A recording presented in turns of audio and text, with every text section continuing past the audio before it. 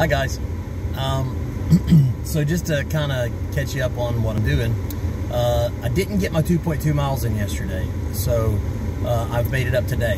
What I done was I went and got the mountain bike and done 2. Point, uh, I don't know. I think I think maybe a little over two and a half miles. I don't know, somewhere around there, but on the mountain bike on some really easy trails. Um, and now I've kind of come back for like a second session, so to speak, on the road bike just to get in some actual distance to make up for today.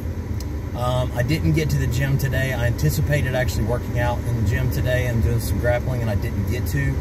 Uh, just had some other stuff come up that I wasn't able to on a Sunday. It's kind of it's kind of tough. So, um, but I'm going to keep it going. Um, tomorrow I should be back to more of a full routine. I'll probably start off tomorrow um, either at the gym working uh, grappling or in the weight gym lifting strength.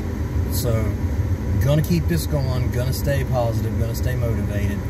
Uh, thanks again for yesterday, and uh, I will keep you guys posted. I anticipate.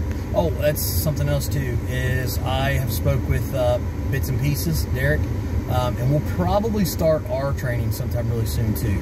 It's not that either one of us are putting it off. it's just that with the Streamathon, a few other things going on, things kind of got a little bit hectic. But uh, it's coming, I promise. And we're gonna we're gonna get that going and get him ready for his wedding, and get my big fat buddy butt ready for my wedding with Sweetie in September. All right, guys, you have a good good day, a blessed day, a positive day, a focused day. Do something nice for somebody. Be somebody's corner man. Train like you fight, fight like you train.